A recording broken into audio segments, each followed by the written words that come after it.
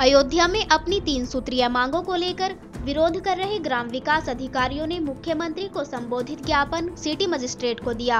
आपको बता दें कि ग्राम विकास अधिकारी वेतन विसंगतियों एवं ग्रेड पे वेतनमान को 2800 करने समेत अन्य मांगों को लेकर तीन दिनों से कार्य बहिष्कार कर अपना विरोध दर्ज करा रहे थे।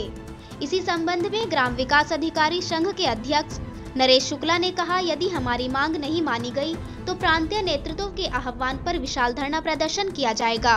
इस दौरान मुख्य रूप से संतोष पांडे, पंकज मिश्रा, लालजी चौरसिया, अरुण वर्मा के साथ ग्राम विकास अधिकारी संघ के पदाधिकारी एवं कार्यकर्ता शामिल रहे।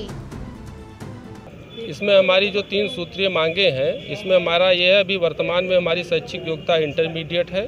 इसको बढ़ा करके स्नातक कर दिया जाए और ट्रिपल सी ट्रिपल सी कर दिया जाए। ओ लेवल के स्थान पर ट्रिपल सी हमारी दूसरी मांग है कि हमारा ग्रेड पे अभी हमारा 2000 में है, इसको बढ़ा के 2800 कर दिया जाए।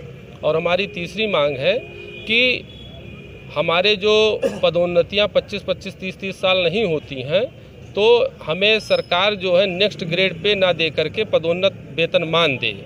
और कम से कम हमारे जितने पद सृजित हैं, उसका 30 परसेंट पद जो पदोन्नति का पद हो।